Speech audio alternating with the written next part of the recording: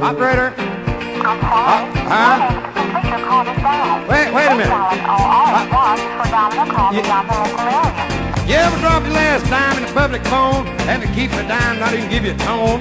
Can you beat that silly contraption with your fist and it comes off the wall? Or did you ever place a call to St. Louis Direct and get the civil defense in Connecticut? And operators say, well, ain't that the number you called? And my phone bill, that's wrong about half the time. And I always get this office idiot on the line and she says, well, Mr. Reed, this call was placed from your phone.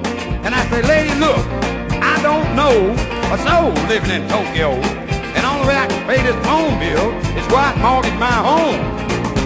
Well, you can find them in every home. This thing called the telephone is the ultimate in modern day design. But it ain't out of order, then the number's been or it's disconnected, or it just won't ring. Why, it's enough to drive a sane man clean out of his mind.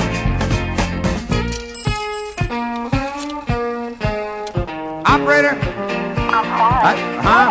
Complete your call is down. Well, listen, you- one for Oh, a call beyond you- did you ever place a call on a hectic day and you couldn't understand a word nobody had to say, and you keep trying to get your operator to come back on the line, huh?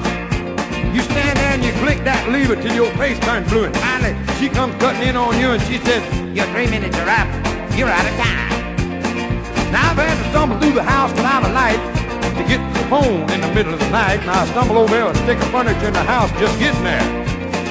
So with a skin shin and a busted toe, I grab the phone and I say, uh, hello, and all I get is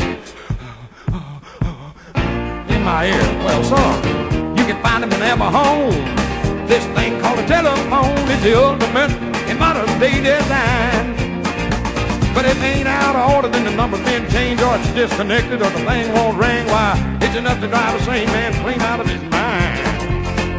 All right, this is my last time with my last dime. Operator, I'm huh? sorry. I know. Well, I know that. Huh? Uh, uh I. I, operator, operator. Well, I know you're sorry. What, huh? Please dial all one for I dialing bet- a call beyond the local area. 15 minutes I've been dialing over. What? You, you said that before, what?